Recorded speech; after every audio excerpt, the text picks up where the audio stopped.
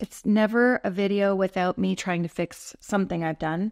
Hey everyone, welcome back to my channel. My name is Julie, and today I'm going to show you how I got this look. I am trying a few different things today. I've got a couple new products, to me anyways. I also do a little experiment with my foundation, so you're going to see that. If you're new to my channel, I usually experiment in some way on my videos. I had a comment she was really sweet and she was saying, I think you're too hard on yourself because I kind of messed up a little bit. I actually love it when things don't go smooth. I really like the challenge and trying to figure things out. When my makeup doesn't go right for me, it's actually a beautiful challenge. I love it. I love trying to figure it out. Of course, I'm not rushed and trying to go out the door. So that makes a difference. I'm just sitting here knowing that I have all the time in the world to play. But I love doing that. I love experimenting with different textures, with different techniques. And sometimes it works and sometimes it doesn't work. But I always figure it out in the end. I show my mistakes and I share them all with you. I hope that you stick with me through the video. It's actually a lot of fun.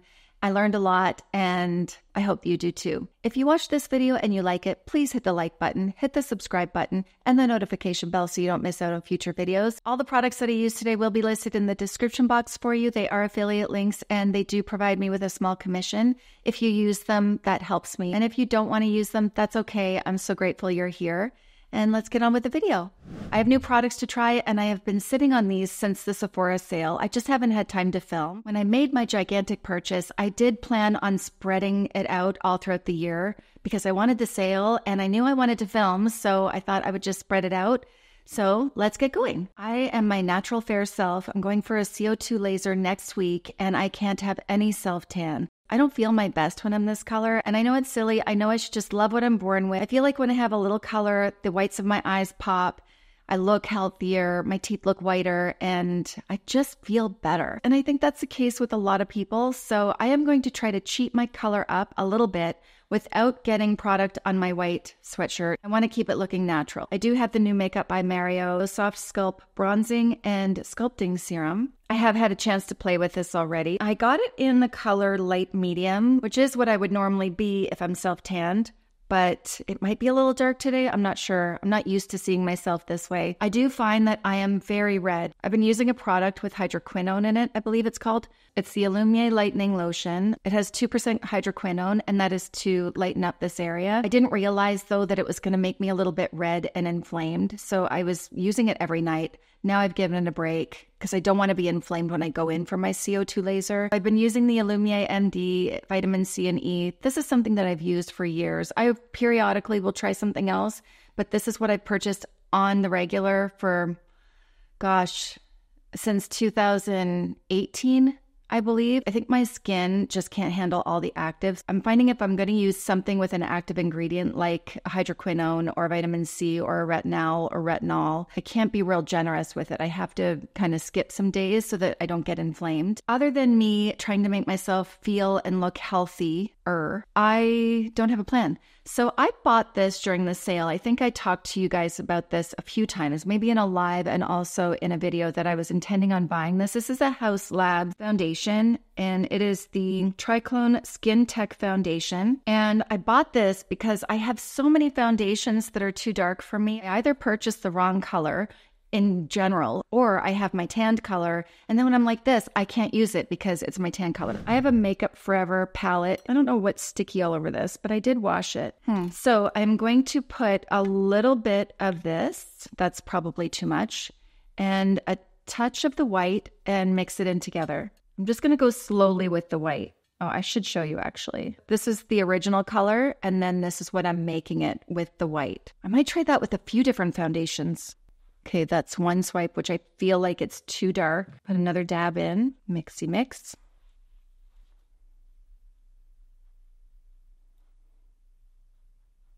I am always a neutral. I'm going to use my Sigma F08. It's a small foundation brush. I want to be very controlled with this because I'm not sure how it's going to go so I don't want to cover a large area all at once. The key is to make enough product that you can cover your whole face or use it wherever you need it because trying to mix the same color again to be the exact same might be a little difficult. Have you seen that Ilios mirror around? I see Tati Westbrook use it all the time. I've seen Michelle, my friend Michelle Spieler, use it. I'm tempted to get it, but do I need it? I don't know. I do have to bring it down a little bit on my neck because it's still red. That's frustrating when your neck is red because I don't want it to get on my clothes. But I have to do it. And you could mix it on the back of your hand. I just happen to have a palette. Do you know what works? Is a plate. It'd be a great idea to get a glass plate, a clear glass plate. Why didn't I think of that before? It's a great idea. Missing any area? Oh, it feels so light. I'm a little nervous going for this CO2 laser, to be honest. There is downtime with this. I mean, you get swollen, red, inflamed. My sister in law had something similar done, and her eyes were so puffy, but she looks so good. She came over on the weekend. Her skin is glowing. That's what I want. I'm primarily going for these things. And if I can get that tightened up, I'll be so happy. Not that there's anything wrong with me. Okay, I just need to tidy up this redness here. I think anything against the redness in my skin can look yellow. I'm not exactly loving how this is sitting, so I'm just going to press it in with my sponge and see if I can get that to sit a little bit better. Really, in here is where it's bothering me. Maybe I had too much, although I didn't feel like I had too much, but maybe I had too much. That's better. Finding a concealer that's light enough for me may be an issue as well. If you haven't seen it already, I did my mother in law's makeup the other day, last week actually, and I posted it a couple days ago. And I used Natasha Denona on her. I liked it so much on her that I'm hoping it looks as good on me as it did on her. So, right there. Let's start there for now, actually. A little goes a long way. I'm going to use a Sigma F72 and just tap that in What's nice about the N4 is it's neutral, but it does have a little bit of color, just a tiny bit. I've said this in a lot of videos, but if I use something too light, it's going to go gray. It's not going to look good. In my case, I don't want to lighten and brighten too much. And just whatever's left on my brush, I'm going to pull it just under there and a little bit right there.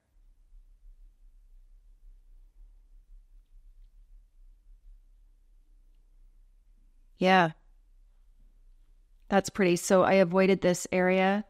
You'll see me change up my techniques all the time. I do that because I like to play. And sometimes I feel like I need more coverage. Sometimes I don't. Sometimes I feel like maybe the color's a little bit off. So I have to drag it down in this area just to blend it all out and make it seamless. This right here, really, I'm just touching right in here where I'm violet. And then there's nothing left on my brush, so it's really not going in this area. Okay, I'm happy with that. That looks good. All right, let's test this out. So this is the Makeup by Mario Bronzing and Shaping Serum. Is this going to be too dark for me? Let's see. I haven't used the pump yet. Oh, I think this is going to be fine. I'm not going to dab it on. I'm going to use my brush. I'm going to use this brush. It's a BK Beauty 109. Look at how similar these are. They're very similar. One is a Sigma and one is a BK Beauty. I would say the BK Beauty is a little bit wider, but they're very similar. The BK Beauty feels a little bit less dense, kind of, but it could be that this has product in it. Let's hope that this is a good color. Yeah, I think that's a good color. So the reason I'm tapping it on like this is because I don't want to disturb the foundation underneath. I just feel like I have more control with the brush. Oh, that's pretty. Tanning myself across my nose. That's where it would hit, right? I don't know if I like that. I'm trying to be cool, but let's take a little bit of that off. I feel like if it's prominent here, it makes my eyes look too light. Well, I tried to be cool like that, but I don't like it. So I'm just going to take whatever's left on my brush here from the concealer, see if I can kind of tone that down a little bit. A little bit on my forehead. I did notice on Valerie at the end, and I fixed it, but I didn't film it. I had to go up a little bit higher in her hairline. If you haven't seen that video, it's really fun. That's my mother in law that I did her makeup. But Valerie was really fair. She had very light hair. So I had to be very careful. Well, I'm feeling healthier. That was the plan. I have the Jane Iredale. What are these? The ColorLuxe eyeshadow sticks. I used one on my mother in law and I've used one on myself as well, but let's play with this. Hmm, what mood am I in today? Oh, that's pretty. That's more of a pink. Yeah, I kind of want pink. All right, let me swatch these for you. on my white arm. This one is called Rosé. This is called Alabaster. They're both mattes. This one is called Gatsby. More of a goldy peach. That is a shimmer. This is called Moonstone. I believe that's the one I used on Valerie. Yeah, has a bit of a shimmer as well. This one's called Bronze. Did I get something on me? Yeah. I like bronze, rose. Oh, I kind of like, hmm. Again, I need you here to tell me. I think I wore this the other day. Dove Gray. Let me put that down here. Oh, yeah. This one is called Ivy. I should have put it where I could see it. That one has, I think, a bit of a shimmer. Does it say on it? I was picturing Ivy as green, but it's not. It is a cool tone shimmer. Focus. Uh, Americano. That's pretty. I like that warm tone, the chocolate brown. And then this one is Midnight. Ooh, I have lots of options. I feel like I just want to grab into the pile and whatever I get, go with. So if you're wondering, these are long wear and you can see that they're, I'm having a hard time getting them off. So that's good. If you have problems with creasing, these will stay. That's why I love shadow sticks so much because they do, they stay and they're easy. They're easy to travel with. They're easy to blend. I'm really gravitating towards this rose color. So I'm actually going to use this all over the eye and see what that looks like. And in this case, I'm not using a shadow primer because this really acts as the primer. It won't move. Anything that I put over top of this is going to last. I may not even put anything over top of it. It might be a one and done kind of situation.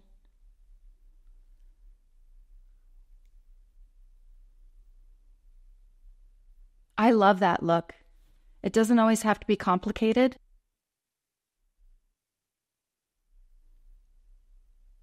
Yeah, I like this color. It's exactly what I wanted. Is that too red? I'm trying to fight the red in my skin and I just added something. It's very similar to what's popping out in my skin. I think it'll all come together when I put my black mascara on, though. Just want to make sure I go high enough on the brow bone. I'm noticing in some of my videos that I wish I had gone higher. Oh, by the way, this is a BK Beauty 205. I'm using it because it's fairly stiff and it's got that angle. I don't want anything too fluffy. See how I'm tapping on that and not much is moving? Although it does move, it is flexible, but if it's too flexible, it's not going to blend as easily.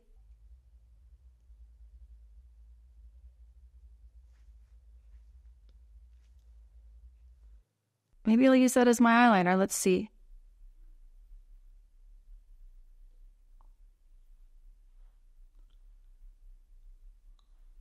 that might make me look a bit sick. Pinks, you have to be careful. I worked on a commercial when I lived in New York, and it was for American Movie Classics where they show all the westerns. Anyway, the Santa had to be drunk, and he showed me the trick of lining the inside of his eyes with red eyeliner. And he looked drunk, and he was such a good actor. That's exactly what that pink does. Is it kind of makes you look like you're sick or drunk or tired. So we got to be careful with that. I'm going to use a bit of Americano right here. and a BK Beauty 209 just to smudge that out.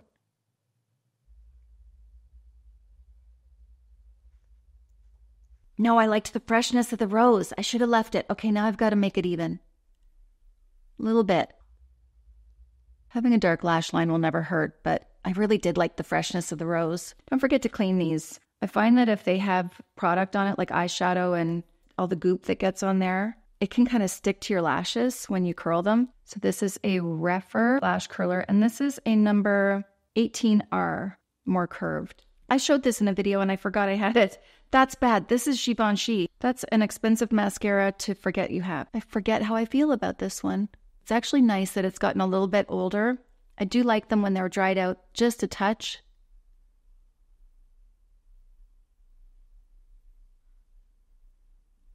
I meant to use my lash primer, I forgot. So my mom is coming up on Saturday. We're going to go shopping, but what I really want to do is do her makeup. I don't know if she'll let me. She's not used to being on camera. My mother in law used to give presentations for her job. She's not shy. And I wouldn't say that my mom's shy, but I wouldn't say that she'd be comfortable doing it either. My mom also doesn't wear a lot of makeup, but I can do that. I can do her makeup and not, you know, do a lot. I never want her to feel uncomfortable. Hey, my brows turned out nice today. I need something on my lips. I don't know why I wait so long to put something on my lips. Why am I suffering? That's better. I like this eye look a lot. I am going to top up the bronzer with a powder bronzer though, or should I try to add more? Maybe I'll see how it builds. Or you know what? Let's just go for it. One there, one there.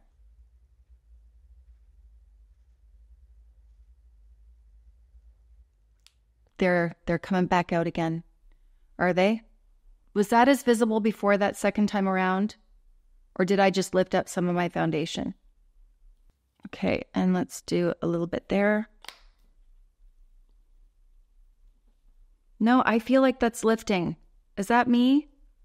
So if you're going to do it, pat it out. I feel like that lifted a bit. I like it, but I wouldn't apply it that way. Boo, because that's what I felt like right here. Maybe the camera's not picking up what I just saw. Maybe it's just me. I have this. This is by IT Cosmetics. It's the Glow with Confidence Sun Blush. This is in the color Sunlit number 10. I dipped into it a little bit and I didn't think I was going to like it because I'm really not a peach person, but this I liked. The formula is very pretty. And yeah, they sent me a brush too. This is the cream blush brush number three. I'm going to go right in.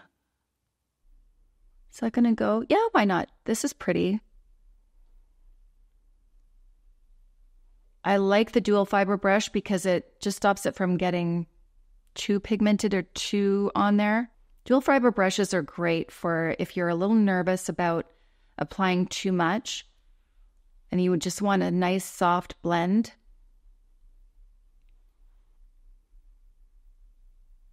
Yeah, so it's a bit heavy there, and that's okay. I'm just going to lighten up the pressure and spread it around.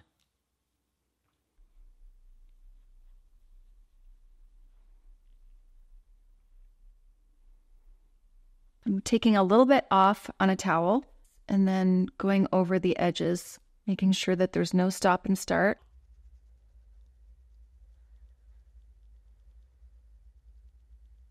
I find when it goes on, it's a bit more pinky peach, not so peach.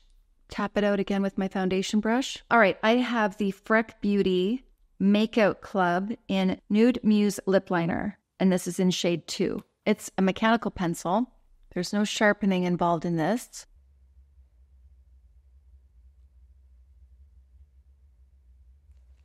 That's pretty.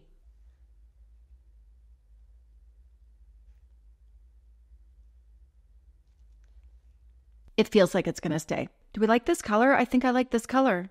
Hmm, I'm kind of on that peachy, peachy pink. That's not like me. Okay, I have a little bit of creasing here. That's okay. I have creases. I'm going to touch up my concealer just a touch more right in there. I don't like how red I am in here. I shouldn't have brought my bronzer that far. I like it a little bit lighter in this area. Who do I think I am?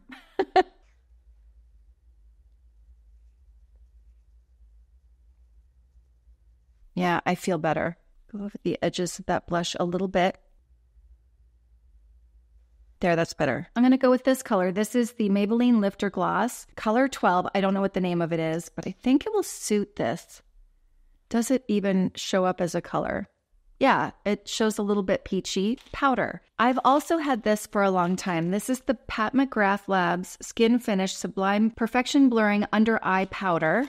Why did they make it so difficult? Who has scissors hanging around when they're doing their makeup? I have seen good reviews about this. Look at the that's how it came out. Okay. Off you go. I just got the light instead of the pink. This says that it is the innovative baked under eye powder that blurs, smooths, perfects while setting concealer in place. What are the ingredients? Mica infused powder creates an even finish and adds sublime radiance to the under eye area. Proprietary, propri- propri- proprietary? Yes, got it. Proprietary powder blend gives a barely there feel and unique sensorial application. That's what it looks like. Oh, it's kind of messy. That actually looks really pretty. I can see the radiance, but I don't know if you can. Oh, yeah, you can see the radiance. I'm to get a clean triangle puff I'll list these below too. Let me just get the creasing out. Maybe I'll try one side with the puff and one side with a brush. Just got a little bit there. I'm going to tap it on my hand actually.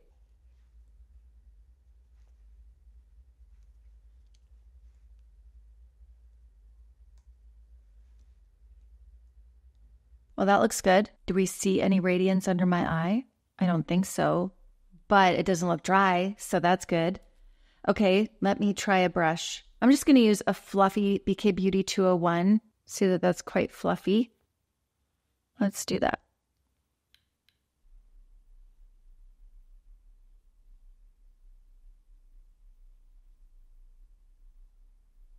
feel like I like the puff side better. Am I more wrinkly on this side? I might be. Definitely like this side better. I'm going to go in with the puff on this side. Let's see what that looks like. Oh, yeah, I think that looks better. Yeah, I think that looks better. You tell me what you think in the comments, but I like it with a puff. I am finding that lately I'm creasing here, and I'm sure it's just because my face is falling. Okay, I am going to powder this a little bit. Not with this, though, because this is specifically for under eye, and I don't want any glow there. I'm going to use Charlotte Tilbury. Why not? I'm going to use the same powder puff. That's a lot more that comes off of that. Right in here. I am in the color number one, by the way. I can really see my pores in here. Better.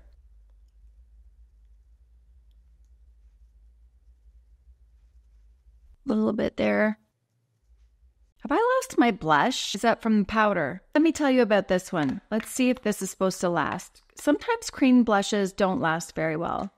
But I did powder and I did touch up my concealer in there. I like the texture of it a lot. It has a four star rating. It has hyaluronic acid without parabens, cream formula with a 92% solid serum skincare base that provides 24 hour hydration and a pop of color for a naturally sun kissed look. I feel like I lost it a little really could be my fault because I touched my concealer up, which got rid of some of it, but only in that area.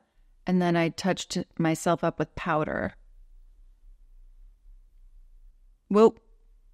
Oh, God. See, I like it that bright though. Once I blend it all out,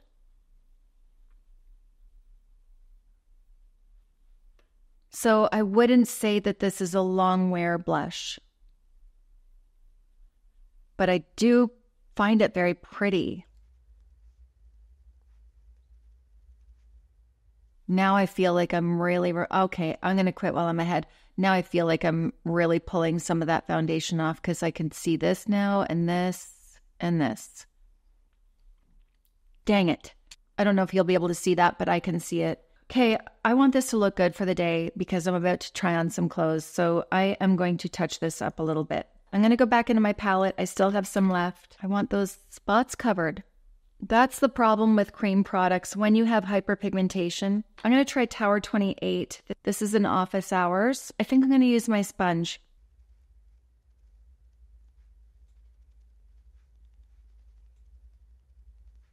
This is a bit heavy, but that's okay. I'll fix it.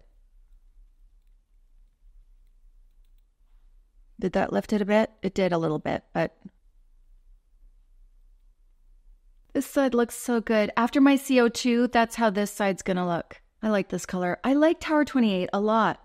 I like the concealer. I like the blush. I like the mascara. I want to check something out. I find that the Charlotte Tilbury, in my head, it looks a little bit heavy. So I want to show you in the same video what the Haus Labs looks like. So this is the Haus Labs on this side. Might just be my imagination. I'm doing this for myself too.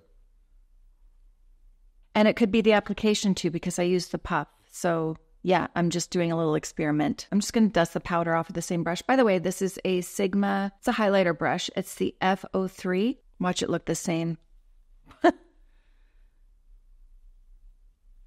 Watch me like it better. No, I feel like I'm right. This is a little heavier, not in a bad way. I can see the powder more on this side. I wouldn't say that this is translucent. Well, or is it? Do you see what I'm seeing? I'm not at all saying it's bad. I'm just saying it's different. I like the Haus Labs better. I just feel like I can see it less than I can see this, especially around my nose. not sure why that is, but I feel like I can see the makeup more on this side. But I am studying this. Would you notice this out in public? Maybe not. I like the shine of that blush, so I just powdered over it. I'm just going to go back over that again. Yeah, I like that better.